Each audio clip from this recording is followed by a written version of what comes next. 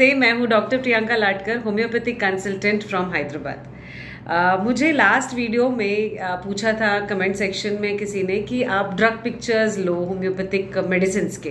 तो पहले तो मैंने ये वीडियो इसलिए बनाया है कि कैसे लिखना है ड्रग पिक्चर क्योंकि कैसे लिखना है क्या एक्सपेक्टेड होता है एग्जामिनर्स को ये मैं बताना चाहूँगी।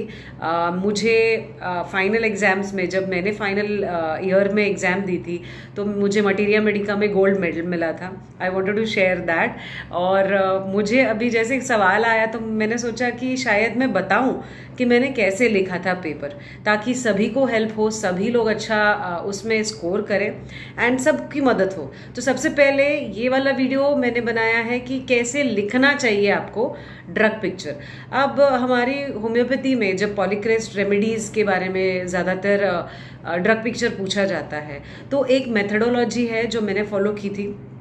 जैसे हाँ आप कोई भी बुक उठाते हो कोई भी एकेडमिक हो या फिर जनरली कोई नॉवेल्स हो जब आप उठाते हो तो आप ऐसे ऐसे पे, पेजेस क्रॉस चेक करते हो कि कैसे है, इसमें पिक्चर्स क्या क्या है, इसका राइटिंग स्टाइल कैसा है, इसकी लैंग्वेज कैसी है इस बुक की। So you try to understand कि कैसे है ये। और हमें ऐसी बुक्स अच्छी लगती है जिसमें फ़ोटोज़ हो, जिसमें पॉइंट्स अच्छे से लिखे हो, और जिसकी लैंग्वेज बहुत इजी टू अंडरस्टैंड हो, बहुत कॉम्प्लिकेटेड वर्ड्स ना हो। तो यही चीज़ हमें फॉलो करनी होती है पेपर में। अब फॉर एग्ज़ाम्पल आपको आता है drug picture of calcarea carb ठीक है? फॉर एग्ज़ाम्पल अगर कैलकेरिया काप लिखा आपने write a drug picture of calcarea carb तो आप कैसे लिखेंगे? अब इंट्रोडक्शन है। जैसे हम किसी बच्चे को कोई चीज़ का इंट्रोडक्शन कराते हैं, जैसे अगर उसको नंबर्स का इंट्रोडक्शन जैसे नंबर वन नंबर टू सिखाते हैं तो वैसे ही हमें कंसिडर करना है। हमें ये प्रेजेंट करना है कि कैसे इजीली कोई भी देखे अब एग्जामिनर्स के पास बहुत सारे क्वेश्चंस पेपर आते हैं। जैसे उनको अगर चेक करना है सौ, डेढ़ सौ पेपर्स तो वो हर एक लाइन तो नहीं पढ़ेंगे राइट तो वो ओवरलुक करेंगे कि क्या क्या क्या क्या लिखा है। तो आपको ये चीज़ का बहुत ज़्यादा ध्यान रखना है कि आप कैसे लिख रहे हैं राधर देन क्या लिख रहे हैं। क्या लिखना है वो सबको पता है। ठीक है, सभी को पता है कि क्या लिखना चाहिए पेपर में और नॉलेज आपको कितनी है। बट कैसे लिखना है, इससे आपके स्कोर्स अच्छे हो सकते हैं। जैसे कलकिरिया काप का, आप लिखो कि किससे बना है, इसका फाउंडर कौन है और what is it famous for we prescribe this remedy for this this this this तो ये जो है ना, जैसे आपने लिखा फाउंडर कौन है तो उसके ऊपर अंडरलाइन खोड़ो थोड़ा गैप दो और उसके बाद उनका नाम लिखो। फिर किसके लिए फ़ेमस है?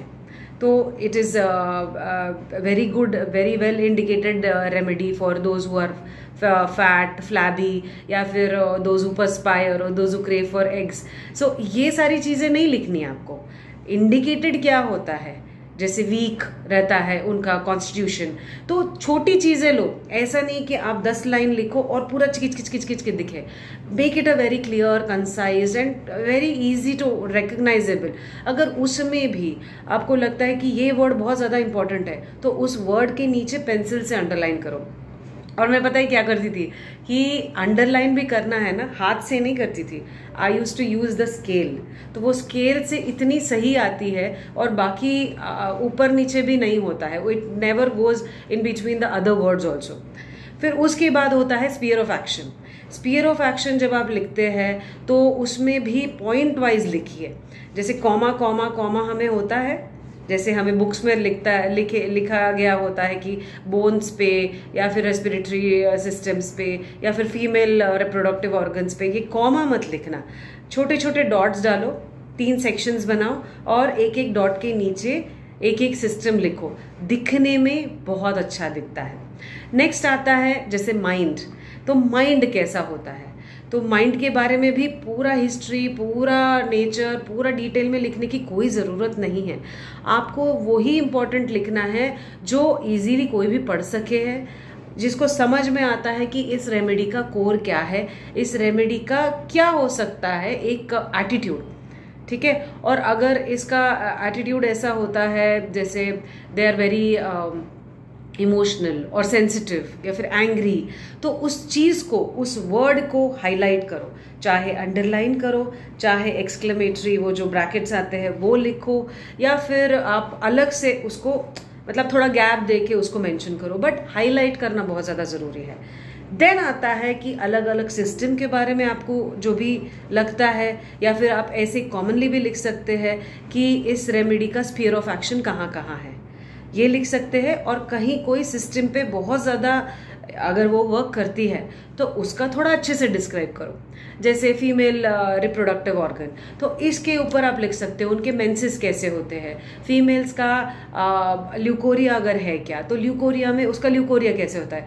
अगर फीमेल का अगर आ गया, उसमें आपको दो चीज़ें लिखनी है मेंसेस भी लिखना है और ल्यूकोरिया के बारे में भी लिखना है तो उसको भी अलग अलग अलग अलग लिखो। एक ही लाइन पे आप फीमेल का मेंसेस भी, फिर ल्यूकोरिया भी, फिर उसका डिलीवरी भी, वो जब डिलीवरी के टाइम उसको जो भी कंप्लेंट्स होती है, वो भी, ये सब मत लिखो। थोड़ा थोड़ा गैप देके एक एक लाइन अगर छोड़ते हैं, या फिर एक लाइन में एक थोड़ा सा गैप छोड़ते हैं, फिर दूसरा शुरू करते हैं तो वो दिखने में अंडरस्टैंड करने में बहुत आसानी होती है। आगे आता है उसका मोडालिटीज़ किस चीज़ से उसको एग्रवेशन होता है, किस चीज़ से उसको एम्बुलेशन होता है, वो चीज़ लिखना। वो भी जब आप लिखते हैं, वो भी बहुत लंबा मत लिखिए, बहुत इजीली अंडरस्टैंडेबल लिखिए, ताकि you can keep yourself in the examine examiner shoes उनकी जगह पे रख के देखो। अगर आपको सौ पेपर्स चेक करने हैं तो आप थोड़ी ना हर एक चीज़ लाइन टू लाइन पढ़ेंगे। यू विल नॉट रीड ठीक है? आपको एक आइडिया जब आ जाता है और दिखने को काफ़ी आप समझ, आप दिखाने की कोशिश कर रहे हो कि मुझे इससे से क्या बताना है आपको? और किसी को भी वो समझ आ जाए, उससे ये ब्रायोनिया है, ये आर्सनिक है, ये कैलकेरिया है। और दिखने के बाद जब आप क्लियर राइटिंग करते हैं तो एग्जामिनर भी खुश होता है। वो खुशी से, वो समझ से, वो जो क्लैरिटी आप रखते हो, वो आंसर प्रेजेंटेशन में तो उसी से आपको ज़्यादा मार्क्स अच्छे मिलते हैं। तो ये था कि मैं बताना चाहती थी कि मैंने कैसे लिखा था। सो आई बिलीव कि अगर ये चीज़ आप भी फॉलो करते हैं राइटिंग अच्छी रखते हैं प्रेजेंटेशन अच्छा रखते हैं, और राइटिंग पॉइंट्स जो है पॉइंट टू पॉइंट आप मेंशन जब करना है तो अच्छे से प्रेजेंट करते हो, ना कि कॉम्प्लेक्स बहुत ज़्यादा लिख लिख के दस बीस लाइन्स एक ही पैरा में लिख के। आप जब क्लैरिटी रखते हो आपकी राइटिंग में तो वो अट्रैक्ट करता है एग्जामिनर को।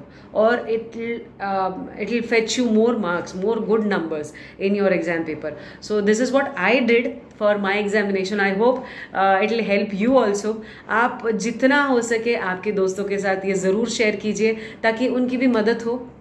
और आगे से एपिसोड में I am going to take all the drug pictures और इसमें कोर भी I will take because mind method which I follow so उसमें कोर भी बताऊँगी. एंड देन इसका sphere of action other systems पे कैसे काम होता है वो हम लोग माइंड एंड बॉडी कनेक्ट करके सिखाएँगे.